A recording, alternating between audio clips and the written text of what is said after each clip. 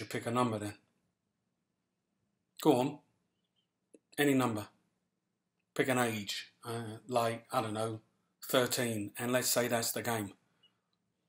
You pick an age and I tell you who I was at that age. Yeah? I go first and then you. So, okay, 13. Who was I at 13? do you remember your class register? I do.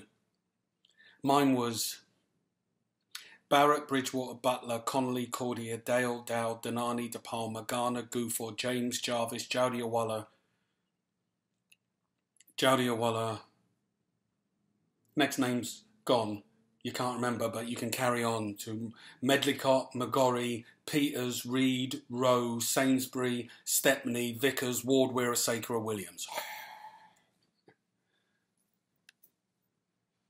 That was me. The name you couldn't remember.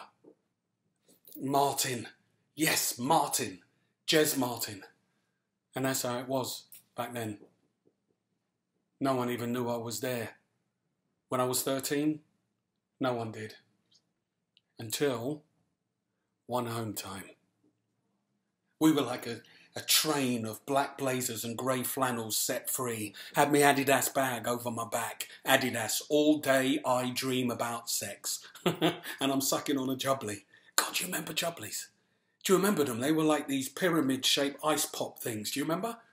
Strawberry fizz was the best. Always a strawberry fizz if I had enough to get one on the way home. So I'm sucking on my jubbly and I'm stood on the curb waiting for the green man to give the go ahead. You look right, you look left, you look right again. And there she is. Down behind the dinky cars and the 249 bus is the big McDonald's juggernaut and she's steaming along full of pat burgers and have a nice days. The green man says walk and there's a bustle, bustle, bustle to the other side, but I ain't moved. There's shouts from my walk home mates, but I ain't listening. I'm just waiting for Juggy. Green man stands to attention on red and the traffic starts coming by anytime soon. Here comes Jaggy. Now, no one knows what's going to happen. What's going on? Most of the boys are trying to jump on the 249 bus as it slips by, trying to avoid the bundle at the bus stop, but the conductor is pushing them all off. He knows the game and he wants to play. Two of them get past him, but he pushes all the rest of them. I reckon it's 4 2 to him on my count.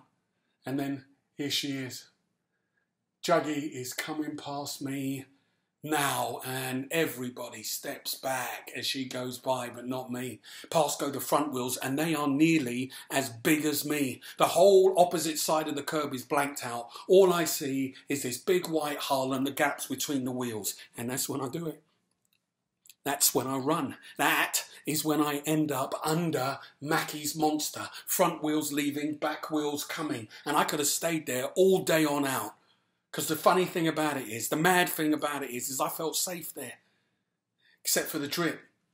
Petrol leaking on my uniform and it weren't mine. I mean, it was, but it was a school voucher. So I had to decide whether I'm staying or whether I'm going because the back wheels are coming right at me. So I kicked a sprint, darted, and I was out the other side. There's still half the road to go, but there's no traffic, and I got lucky. I'm just laughing at the jaw dropped faces of my mates. They were fucking stum for the rest of the walk home. But from then on in, that's who I was. Jez Martin, the nutter who runs under trucks. Yeah, that's right. After Jaudiawala and before Medlicott.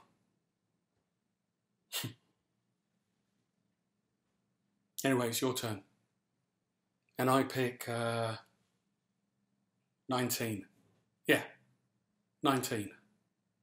Who were you at 19?